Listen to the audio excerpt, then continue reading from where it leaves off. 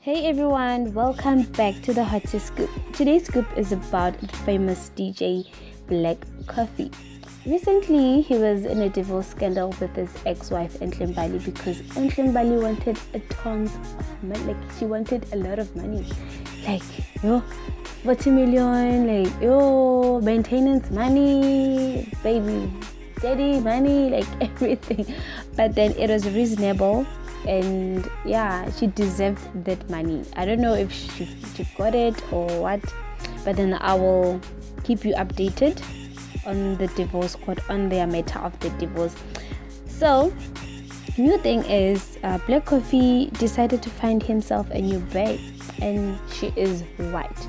So i'm sure he's tired of black girls and he said no i want to go white all white. And then yes she is beautiful she is amazing as you can see for yourself like mm, she's a model. Wow well con- congratulations to them and i wish them a happy happy relationship. But you can follow her on instagram. Her name is alexandra k